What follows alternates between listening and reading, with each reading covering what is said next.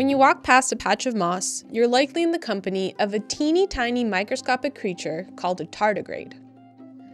A tardigrade is a type of microanimal that lives in water. Some live in the sea or in lakes or ponds, but others have adapted to life on land. They live in the thin film of water that collects in moss and lichen after a rain. This one was found in some moss on a mountain in Prescott, Arizona. The name tardigrade comes from the Latin words for slow stepper, named for its clumsy, lumbering walk. All tardigrades have eight legs, with two at the end of the body and three on each side. You can see the way it moves the last pair together to push itself around. You also might have noticed that this tardigrade is see-through, but you can't see any bones. Tardigrades don't need bones because they have a hydrostatic skeleton. That's a fancy way to say that the pressure of fluids inside the tardigrade help the animal keep its shape. Kind of how the water in this glove helps the finger stand up and wave hello. Tardigrades are also called moss piglets or water bears. The name water bear comes from its long, bear like claws found on the tip of every leg. It's showing them off here.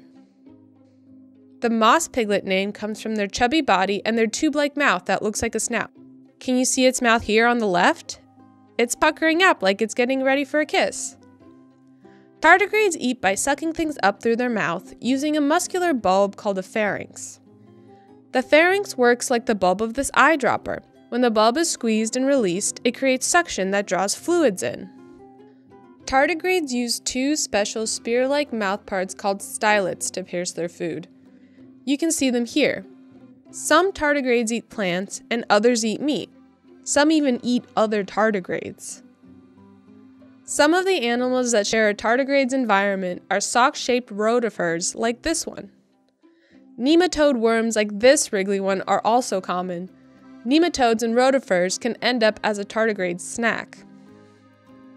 If the moss a tardigrade is living in starts to dry up, the tardigrade will dry up too.